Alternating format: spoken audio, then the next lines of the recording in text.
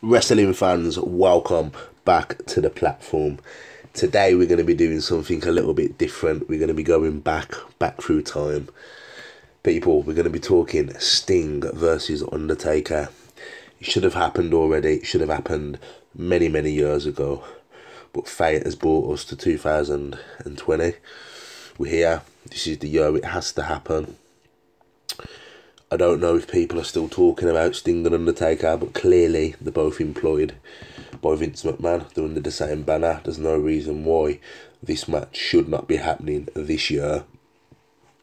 They're both way over the age limit to be wrestling, so that's why it needs to be pushed to this year. I don't want to see Sting getting jobbed out. I don't want to see Sting getting injured.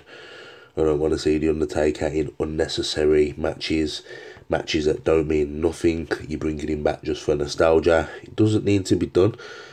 Okay, Sting has come back. You only brought him back to promote a video game.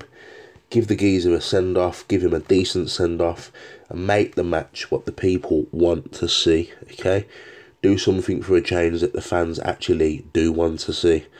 Okay, it's going to be a hard decision who you're going to have lose, but it's clear as day who's going to lose. It's clearly going to be Sting. The Undertaker isn't going to put over Sting, vice versa. And it's the WWE people. If Triple H wouldn't put him over, what you think? You think the Undertaker's going to put Sting over?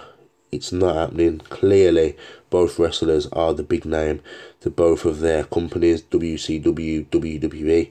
We all know that Sting was not pushed though like the Undertaker. He wasn't pushed as mysterious as dark. At the beginning, Sting was dark. Only when he became the Crow, he was dark. That only lasted a couple of years. Then he was losing. It, it, that's just simple. That happened in WCW. The minute you brought him into WWE, he got jobbed out. Triple H beat him at WrestleMania, the grandest stage of them all, and you haven't seen him since. He got injured to Seth Rollins, and Sting has gone clearly he's still in the company. He needs to be doing something. They're both out of shape. They need to get back in the ring.